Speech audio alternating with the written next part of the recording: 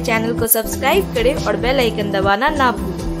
केवटी थाना के पराठी निवासी मंतोष कुमार को मंगलवार को कुछ लोगों ने पीट पीट कर मार डाला। बताया जाता है कि वह मारपीट की एक घटना में नामजद था। उसी का बयान दर्ज करवाने वह न्यायालय पहुँचा था। बयान दर्ज करवाकर वह जब घर लौट रहा था, उसी क्रम में कुछ लोगों ने उसे घेर कर बुरी तरह से पिटाई कर दी। इससे वह बेहोश हो गया। वही बेहोशी हालत में जब डीएमसीएच इमरजेंसी विभाग में ले गया गया तो वहाँ उन्हें मृत घोषित कर दिया गया। जो है इसकी मेरा भाई जो है ना चौक से नीचे जा रहे हम अमानत करते हैं। हम चौक से जा रहे थे जाने के क्रम में वहाँ पे जो सामने था ये जो बीरू यादव, राम दयाल यादव, ममता कुमारी जो राम दयाल के पत्नी गाँव के सटा हुआ है। अब इसके हमारा भी हक दे सर सर मेरे भाई को था हम आधा घंटा बाद बयान ले लीजिए अच्छा। था जो फिर से जो मैं मारा पीटी हुआ था ये मार मारे हुए थे उसको। इसी कंडीशन में इसको जो है सो जैसे पीछा करके जो है ना तीन सौ सात में इनका नाम जुड़ा हुआ था। जी जी जी। मेरा अ, उसी क्रम इसको जो है घेर करके जैसे मारा गया। था बदला लेने के किसी थाना अंतर्गत मामले से पेट्रोल पंप के पास संदिग्ध हालत में मिली एक युवक की सौ। छानबीन में जुटी पुलिस। शाम के करीबन सात बजे विश्वविद्यालय थाना क्षेत्र के बेला पेट्रोल पंप के पास से लावारिस हालत में एक युवक की बॉडी मिली है। पुलिस ने डीएमसीएच इमरजेंसी लेकर आई, जहाँ डॉक्टर ने सघन जाँच पड़ताल के बाद उसे मृत घोषित कर दिया। मृतक के पास से मिले वोटर पहचान पत्र के अनुसार नाम मोहम्मद अशरफ अली, उम्र 32 वर्ष, पिता मोहम्मद सारिबीर अली, संतोष नगर जिला रायपुर, छत्तीसगढ़ बताया जा रहा है। वही पुलिस के मुताबिक गश्ती के दौरान बेला पेट्रोल पंप के पास से गुजरने के क्रम में लोगों की भीड़ देख वहाँ गए और लोगों ने बताया कि यहाँ एक आदमी लेटा हुआ है। पुलिस ने सिपाहियों की मदद से उस आदमी को अपने गाड़ी में लाद कर डीएमसीएच इमरजेंसी विभाग में लेकर पहुँच गए। डॉक्टर द्वारा सघन जाँच पड़ताल करने के बाद उसे मृत घोषित कर दिया गया। उसके शरीर पर किसी भी तरह की जख्म का निशान नहीं था, इसलिए पुलिस को अभी तक उनकी मौत का कोई कारण पता नहीं चल पाया है। इसके पास से बरामद वोटर कार्ड एटीएम कार्ड और कुछ पेपर के अलावा तीस रूपए मिले हैं। वहीं मिले पहचान पत्र के आधार पर आगे की कार्यवाही जारी है। पेट्रोल पंप है ना? जी सर। वहीं पर वहाँ लेकर के हम आए हॉस्पिटल में। इलाज में देखिए क्या स्थिति होता है। वहाँ पे पब्लिक स्थिति देख के हम गए। लेकिन तो पता चला कि ये कोई बेहोशी हालत है उसको लेकर। डी एम अस्पताल क्षेत्र दरभंगा कोर्ट परिसर में कैदियों के परिजनों ने जमकर हंगामा किया। पुलिस द्वारा कोर्ट परिसर एवं हाजत में कैदियों को पीटने का भी आरोप लगाया है। बुधवार को दरभंगा कैदियों के परिजनों ने लगातार हो रहे कैदियों के साथ अभद्र व्यवहार को देखते हुए दरभंगा कोर्ट परिसर में जमकर हंगामा किया। वही परिजनों का कहना है कि लगातार जेल में उनके परिजन को काफ़ी प्रताड़ित किया जाता है, साथ ही साथ समय समय पर मारने की भी धमकी दी जाती है। वही बबीता देवी के द्वारा अपने पुत्र कुंदन महतो को जेल में पीटने जाने एवं जान से मारने की धमकी देने का आरोप लगाया गया है। उन्होंने ये भी कहा है कि आज जब मेरा पुत्र कोर्ट से हाजिरी करके जा रहा था तभी हाजत प्रभारी एवं सिपाही बल के द्वारा मेरे पुत्र कुंदन महतो एवं साथ ही दो कराधीन अभियुक्तों को बुरी तरह से पीटा गया है वही एसएसपी से न्याय सहित बचाव की भी मांग की है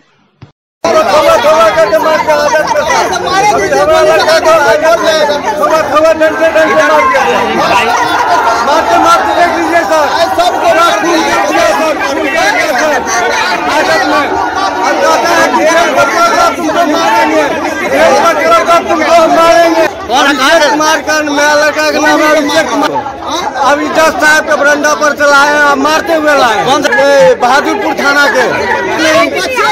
पैसा मांगे होंगे सिपाही जी पैसा मांगे होंगे पाँच हज़ार रुपया। नहीं दिए जिसके कारण मारे हैं सर आपका क्या नाम है मेरा नाम हुआ मनोज कुमार कर हम उसका पापा है सर तो मेरा नाम हुआ मनोज कुमार कर सर जाते रहता है तो थोड़ा सा दूर से भी बात करना चाहते तो बात नहीं करनी चाहते हैं।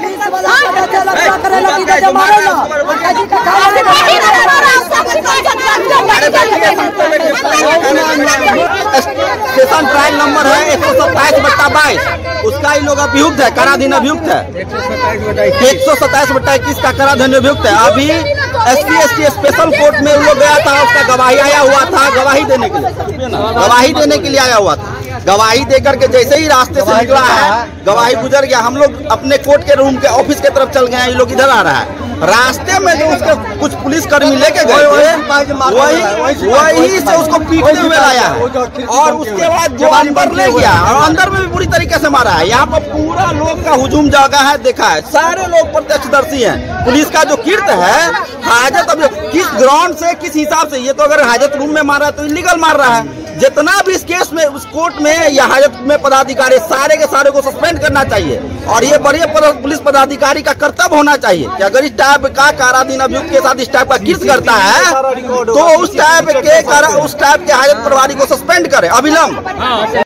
बीमार नहीं रहा लाचार, हो रहा मुफ़्त उपचार। हड्डी नस रोग से संबंधित गंभीर बीमारियों का मुफ़्त में इलाज। इंतज़ार किसका? जाएँ सर्राफ ऑर्थो स्पाइन सेंटर और दर्ज कराएँ प्रधानमंत्री जन आरोग्य योजना में अपना नाम।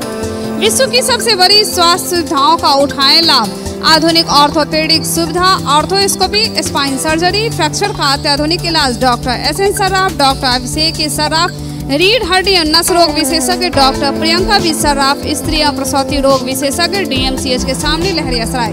पचास वर्षों से आपका विश्वासी दुबे क्लिनिक, अपने उत्कृष्ट सेवाओं के लिए कई राष्ट्रीय और अंतर्राष्ट्रीय अवार्डों से सम्मानित डॉक्टर सुनील दुबे के द्वारा सभी तरह के यौन रोग, गुप्त रोग एवं चर्म रोगों का सफल इलाज, निसंतान दंपत्ति एक बार अवश्य मिले। दुबे क्लिनिक सुभाष मार्केट, लंगर टोली चौराहा, पटना। का फोर लेन, नेशनल हाईवे, सड़क संतावन के शाहपुर चक्का के पास एक यात्री बस और बाइक की ज़बरदस्त टक्कर होने से बाइक सवार दो लोग बुरी तरह जख्मी हो गए। दोनों की हालत बेहद नाजुक हाल में तत्काल स्थानीय लोगों और पुलिसों की मदद से इलाज के लिए डीएमसीएच भेज दिया गया है। जिसमें एक की हालत काफ़ी चिंताजनक बनी हुई है। घटना दरभंगा के मब्बी थाना के शाहपुर इलाके में हुई। स्थानीय लोगों की माने तो जहाँ घटना हुई है, वहाँ तत्काल एक ही लेन से वाहन का आवागमन चालू है। ऐसे में तेज गति से एक बस आ रही थी, जबकि इसी बस के पीछे पीछे बाइक सवार दोनों व्यक्ति भी आ रहे थे। तभी सड़क किनारे एक यात्री ने बस को रोकने के लिए हाथ दिया बस चालक ने तभी अचानक ब्रेक लगा दी। सवार जब तक संभलता उससे पहले बाइक बस में पीछे से जा टकराई और मौके पर दोनों सड़क पर धराम से गिर गए। दोनों के सर से काफ़ी खून निकल रहा था। घायल व्यक्ति का सांस चलता देख लोगों ने तुरंत घायल को मदद पहुँचाया और घटना की सूचना तत्काल पुलिस को भी दी। हालाँकि पुलिस ने जल्दबाजी की बात कहकर कैमरे पर तत्काल कुछ नहीं बोले। एक लाइन वो वाला बंद है। इसी लाइन पे दोनों तरफ़ से गाड़ी चल रही है और वहाँ पैसेंजर वहाँ से हाथ दिया है बस वाले को। पैसेंजर उठाने के चक्कर में वो ब्रेक बाया पे पूरा चापा है और ब्रेक मार दिया है। इस सोचा था हम दहिना से निकल जाएँगे उधर से गाड़ी आ रहा था वो दहिना जा नहीं पाया। सीधा गाड़ी में वो ठोक दिया। एक तो नहीं बचेगा एक तो बच भी सकता है। कुछ कहा नहीं जा सकता। कार में और बाइक में हिरोंडा है स्प्लेंडर प्लस रफ्तार से आई। इसको पैसेंजर बैठाना है रुपया में खलासी कंडक्टर को ना पैसा चाहिए। एक बैग बाया में रोका गाड़ी वाला जा रहा था। एक तो ये एनएच बन रहा है कितना दिन हो गया आज जल्दी से बन नहीं रहा है। हाँ, दिन रात काम होना चाहिए यहाँ सुन इसके कारण एक्सीडेंट हुई है। ये एनएच एक तरफा कारण ये एक्सीडेंट हुई है और ये बस वाले को धीरे जाना चाहिए था, एक बैग रोक करके ये घटना हुआ। है बराबर घटना मुख्य सचिव बिहार आमिर सुहानी के आदेश के आलोक में आज ज़िले के सभी पदाधिकारियों के द्वारा विभिन्न प्रखंडों के एक एक पंचायत के सभी योजनाओं यथा मुख्यमंत्री सात निश्चय योजना के अंतर्गत हर घर नल का जल, घर तक पक्की गली नली योजना आंगनबाड़ी केंद्र, सभी विद्यालय संचालन व्यवस्था, आवासीय छात्रावास, आवासीय विद्यालय, प्रधानमंत्री ग्रामीण आवास योजना समाज कल्याण की पेंशन योजनाएँ भू राजस्व जन वितरण प्रणाली की दुकान ग्रामीण सड़कों का निर्माण एवं अनुरक्षण, पंचायत सरकार भवन, मनरेगा एवं अन्य योजनाओं की गहन जाँच की गई। वरीय पदाधिकारी द्वारा जाँच में पाई गई स्थिति से जिलाधिकारी को अवगत कराया गया। उल्लेखनीय है कि ज़िले के जितने भी प्रखंड के वरीय पदाधिकारी हैं, सभी को एक एक पंचायत आवंटित किया गया था। इसके साथ ही सभी प्रखंड विकास पदाधिकारी, अंचलाधिकारी एवं सभी संबंधित विभाग के पदाधिकारी को भी एक एक पंचायत आवंटित किया गया। इस प्रकार ज़िले के आज अंठावन पदाधिकारियों द्वारा अपने अपने आवंटित पंचायतों में सभी योजनाओं के वृहद जाँच की गई। जिला निर्वाचन पदाधिकारी सह जिला दंडाधिकारी राजीव रोशन द्वारा आदेश निर्गत करते हुए कहा कि राज्य निर्वाचन आयोग बिहार द्वारा आगामी नगर पालिका आम निर्वाचन 2022 के अवसर पर मतदान केंद्र की स्थापना के संबंध में विस्तृत दिशा निर्देश निर्गत करते हुए मतदान केंद्र की स्थापना एवं मतदाताओं को उनके संबंध कार्यक्रम निम्न प्रकार से निर्धारित किया गया है। उन्होंने कहा कि 9 जुलाई से 18 जुलाई 2022 तक मतदान केंद्रों के स्थान का चिन्हितीकरण एवं मतदान केंद्रों के साथ मतदाताओं की संख्या की सॉफ्टवेयर में प्रविष्ट किया जाएगा। इसके साथ ही उन्नीस जुलाई 2022 को मतदान केंद्रों की सूची का प्रारूप प्रकाशन भी किया जाएगा। 19 जुलाई से 1 अगस्त 2022 तक दावा आपत्ति की प्राप्ति की जाएगी। वही 25 जुलाई से 6 अगस्त 2022 तक प्रकाशन अवधि में प्राप्त आपत्तियों का निष्पादन किया जाएगा। 7 अगस्त से 10 अगस्त 2022 तक पत्रक ए में अंकित मतदान केंद्रों के मतदाताओं का संबंधन कर सॉफ्टवेयर में इसकी प्रविष्टि की जाएगी। 11 अगस्त से 14 अगस्त तक आयोग के वेबसाइट पर मतदान केंद्रों के साथ मतदाता सूची का अंतिम प्रकाशित सूची का अपलोड किया जाएगा तथा पत्रक ए पर 16 अगस्त से 25 अगस्त तक आयोग का अनुमोदन होगा। इसके साथ ही 19 अगस्त 2022 को मतदान केंद्र के अनुमोदन सूची का अंतिम प्रकाशन किया जाएगा। Global health care and diabetes research centre जो बिहार में पहला अंतर्राष्ट्रीय तकनीक एवं आधुनिक सुविधाओं से लैस सुपर स्पेशलिटी डायबिटीज़ केंद्र है, जहाँ एक छत के नीचे डायबिटीज़ से संबंधित सारी सुविधाएँ मौजूद हैं, जैसे कि diabetes heart care, diabetes eye care, diabetes neuro care diabetes foot care, diabetes pharmacy और डायबिटीज़ प्रयोगशाला। पता जीसस एंड मैरी स्कूल के पास, रहमगंज, दरभंगा, बिहार। प्रजापति ब्रह्मा कुमारी ईश्वरीय विश्वविद्यालय के मेडिकल वीक के तत्वावधान में आज कोरोना वॉरियर के लिए सम्मान के कार्यक्रम का आयोजन किया गया, जिसमें ब्रह्मा कुमारी मुख्यालय माउंट आबू से मेडिकल वीक के secretary doctor Banarasi Lal DMC के principal doctor K N Mishra, अधीक्षक डॉक्टर हरिशंकर मिश्रा, वरिष्ठ चिकित्सक doctor Bhola Nayak doctor K P Mahaseth, motivational speaker Kanchan, स्थानीय संचालक आरती एवं सुधारक मंच पर उपस्थित रहे। कार्यक्रम में 100 से अधिक चिकित्सक उपस्थित रहे। वही कार्यक्रम का विधिवत उद्घाटन दीप प्रज्वलन कर किया गया। कि हम लोगों के काम को देखते हुए वर्मा कुमारी ने यह इनकी महत्ता को समझा और उन्हें सम्मान देने के लिए यह आयोजन कर दिया। उन्हें लगा कि नहीं, डॉक्टर का महत्व कितना ज़्यादा है। हम लोग फ़िज़िकल मेडिसिन से मरीज़ को इलाज करते हैं वे मेडिकेशन के थ्रू मन से बीमारी का इलाज करते हैं। और दोनों का यदि सामंजस्य हो जाए तो मरीज़ या तो बीमार नहीं पड़े, और बीमार नहीं पड़े तो जल्द स्वस्थ हो जाए। और इनका जो आयोजन है, यह सफल हो, यह मेरी कामना उनका सम्मान ये सही है कि मैं अधीक्षक के पद पर हूँ तो प्रतीकात्मक रूप से मुझे ये सम्मान दिया गया है। इन्होंने जो सम्मान किया, डॉक्टरों के त्याग को, मेहनत को, सराहा, उसके लिए धन्यवाद के पात्र है। और आज का दिन तो गुरु पूर्णिमा का दिन है। इस सभा में आकर के हमको एक बात देखने को मिला यहाँ गुरु ज़्यादा है, शिष्य कम है। इस तरह के समारोह में यदि आप लोग नहीं आइएगा तो हम लोग को कौन पूछने वाला है? अरे भाई, आप काम किए, आपको कोई संस्था सराह रही है, उसका भी तो उत्साहवर्धन होना चाहिए। जब इन्होंने कहा था, हम बोले कि किसको सम्मान करना है, नहीं करना है, प्रिंसिपल साहब भी थे। तो हम लोग बोले सबको कर दीजिए। जितना माने मेरा स्टूडेंट या डॉक्टर पीओडी ड्यूटी किया है रजिस्टर ड्यूटी किया है, पूनम भी थी वहाँ। तो बोला, कितना होगा? तो ये दो दो सौ पचास। इन्होंने सबको सम्मान करने की तैयारी कर ली। इसीलिए कोई यदि सम्मानित करता है तो उसको भी उसको भी हम लोग उत्साहित करें। क्लियर था। सेवेंटी में वो सम्मान कर रही है। जबकि उन दिनों में कोई ये नहीं था। वहाँ के मेडिकल कॉलेज के डीन सुप्रिटेंडेंट यूनिवर्सिटी के वाइस चांसलर बोले कि मेरे पास दस मिनट टाइम है, इसे टाइम नहीं, अधिक देंगे। जैसे सर पाँच मिनट के लिए आए हम सर का रिस्पेक्ट करते हैं कि अपना इम्पोर्टेंट टाइम को ये करके भी आप बैठे हैं। वाइस चांसलर ढाई घंटा बैठे रहे, क्योंकि ढाई हज़ार की सभा थी। उन्होंने ये हैरान हुए कि जो हमारी सम्मान कर रहे हैं, वो हमारी वॉरियर्स को डॉक्टर्स को जूनियर डॉक्टर्स को नर्सेज को, सफ़ाई कर्मचारियों को भी सम्मान वही कर रहे हैं। उनके नज़रों में कोई भिन्नता नहीं है, बल्कि सर भी खड़ा होकर के वो भी सम्मान करने लगे। जिला प्रशासन दरभंगा की ओर से आयोजित 11 जुलाई से लेकर 13 जुलाई 2022 तक जिला परिषद के नवनिर्वाचित जनप्रतिनिधियों का तीन दिवसीय गैर आवासीय प्रशिक्षण कार्यक्रम बुधवार को परिषद दरभंगा के सभागार में प्रशिक्षण कार्यक्रम का समापन हो गया। वही इस कार्यक्रम के अवसर पर जिला परिषद अध्यक्ष रेणु देवी, जिला परिषद उपाध्यक्ष ललिता देवी सहित अन्य कई जिला परिषद के सदस्यों ने हिस्सा लिया। आयोजित इस प्रशिक्षण कार्यक्रम के माध्यम से जिला परिषद की शक्तियाँ, कार्य एवं उनके दायित्व के संबंध में विस्तार से जानकारी दी गई। पंचायत समिति स्तर पर जे ब्लॉक लेवल बनै कार्य योजना, अगला वित्त ठीक जिला स्तर पर कार्य योजना बनै तीनों के प्रोसेस सेम छै जेना ओतऽ पहिले होइ छै front worker worker tag tag પડે છે करऽ पड़ै छै ओहिमे एनाही बजट प्राकलन बना कऽ फेर ओकर अनुमोदन केला के बाद होइ छै पोर्टल पर चढ़ै छै तीनों में प्रोसेस हो रहा है।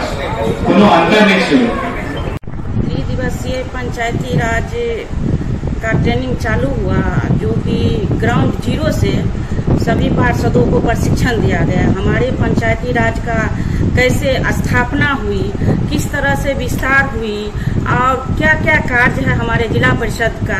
जिला परिषद सब क्या क्या काम कर सकते हैं? जैसे कि जो प्रशिक्षण मिला हम लोग को, जो हमारे समितियाँ का कैसे गठन होगी, हम लोग जिला परिषद के माध्यम से क्षेत्र में कैसे विकास करेंगे? से प्रशिक्षण चल रही थी। यह निश्चित रूप से हमारे नव निर्वाचित पार्षदगण यहाँ जीत कर अपने क्षेत्र से आए हैं, उसके लिए सारी भी शक्तियाँ, जिला परिषद की जितनी भी शक्तियाँ हैं, उनके बारे में बताया गया जो कौन सा कार्य हम कर सकेंगे, कौन सा नहीं कर सकेंगे कर सकेंगे।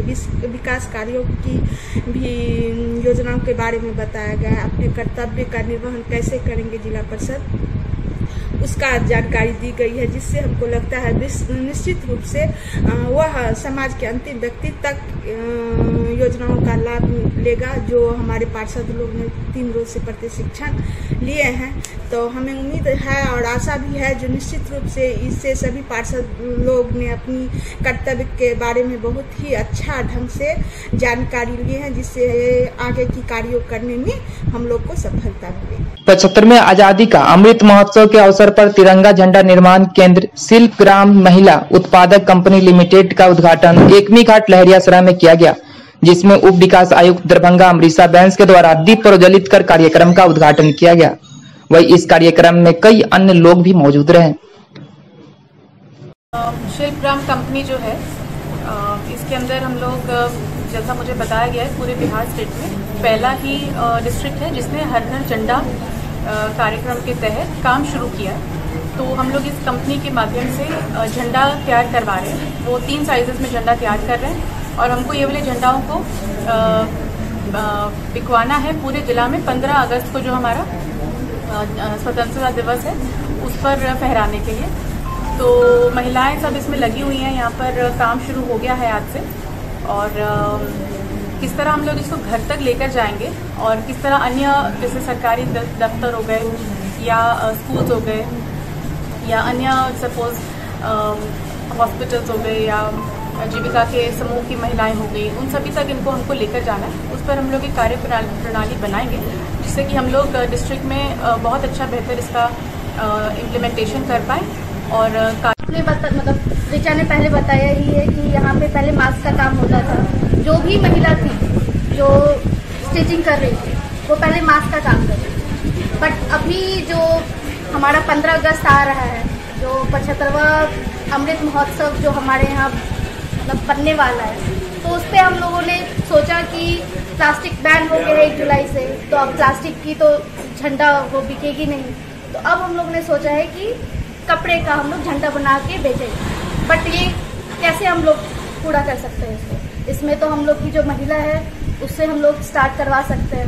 तो ऐसा डीएम सर की तरफ़ से हम लोगों को एक सजेशन मिला कि जितनी भी महिलाएँ हैं उनको झंडा में, झंडा बनाने में हम लोग लगा सकते हैं। अपहरणकर्ता को गिरफ़्तार नहीं करने एवं अनुसंधान में बिरौल पुलिस द्वारा कोताही बरतने तथा निष्पक्ष सीआईडी से जाँच की मांग को लेकर बिरौल थाना कांड संख्या एक सौ उनचास अबलिंग दो गुमशुदा कृष्ण कुमार शर्मा के परिजनों की ओर से एक दिवसीय आमरण अनशन का आयोजन जिलाधिकारी के समक्ष धरना स्थल पर किया गया। मेरे पापा को।